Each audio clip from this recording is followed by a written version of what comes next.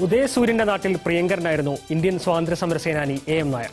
സാമൂഹിക പരിഷ്കർത്താവ് എന്നതിനപ്പുറം രുചികരമായ ഇന്ത്യൻ ഭക്ഷണം ജപ്പാന് വിളമ്പി നൽകിയത് അവരുടെ പ്രിയപ്പെട്ട നായർ സാനായിരുന്നു. ഒളിമ്പിക്സ് നടക്കുന്ന ടോക്കിയുടെ ഹൃദയഭാഗത്ത് അദ്ദേഹത്തിന്റെ ചെറുമകൻ റെസ്റ്റോറന്റിൽ തിരക്കിലാണ്. ജിഷാദ് അബൂബക്കറിന്റെ റിപ്പോർട്ട് കാണാം. അയ്യപ്പൻ പിള്ള മാധവൻ നായർ ജപ്പാൻകാരുടെ പ്രിയപ്പെട്ട നായർ സാൻ. ഇന്ത്യൻ സ്വാതന്ത്ര്യ സമരത്തിൽ സുഭാഷ് ചന്ദ്രബോസിന്റെ ആശയങ്ങളോട് ചേർന്ന് നിന്ന് അദ്ദേഹം പ്രവർത്തിച്ചു. നേതാജിയുടെ കൂടെ ഇന്ത്യൻ നാഷണൽ ആർമിയുടെ തന്ത്രങ്ങൾ മെനയുന്നതിൽ പങ്കാളിയായി. ഇന്ത്യയിലെയും ജപ്പാനിലെയും ദേശീയ നേതാക്കളുടെ പ്രിയപ്പെട്ടവനുമായി പൂജപ്പുരക്കാരൻ എ എം നായർ.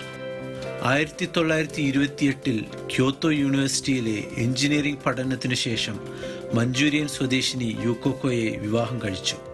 ജപ്പാനിലെ സാമൂഹിക രംഗത്ത് ശ്രദ്ധേയമായ പ്രവർത്തനങ്ങൾ നടത്തുമ്പോൾ തന്നെ ആയിരത്തി തൊള്ളായിരത്തി നാൽപ്പത്തി ഒമ്പതിൽ ഗിൻസ പട്ടണത്തിൽ അദ്ദേഹം തുടങ്ങിയ ഇന്ത്യൻ ഭക്ഷണശാല നായർസ് റെസ്റ്റോറന്റ് ജപ്പാൻകാർക്ക് ഇന്നും പ്രിയപ്പെട്ടതാണ്. നായർസാന്റെ ചെറുമകൻ യോഷിമി നായരാണ് ഇന്ന് ഈ സ്ഥാപനം നടത്തുന്നത്. കുട്ടിക്കാലത്ത് മുത്തച്ഛനൊപ്പം തിരുവനന്തപുരത്ത് വന്ന ഓർമ്മകളുണ്ട് യോഷിമിക്ക്. മലയാളം അറിയില്ലെങ്കിലും കേരളം എന്റെ കൂടി നാടാണ് യോഷിമി നായർ പറയുന്നു. You been to Kerala? Yes, many times. Many times. You have still have uh, relatives, Yes. family there. Okay.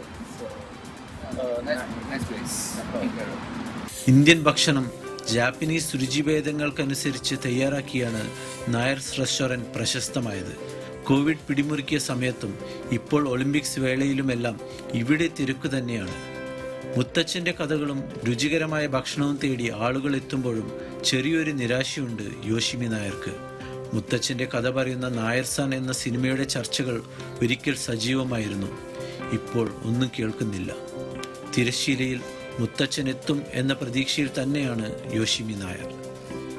രണ്ടാം ലോക മഹായുദ്ധകാലത്ത് ആരംഭിച്ച നായർ റെസ്റ്റോറന്റിന് മുന്നിൽ നിന്നും മനോരമ ന്യൂസിന് വേണ്ടി ക്യാമറമാൻ അനിലിനോടൊപ്പം ജിഷാദ് അബൂബക്കർ.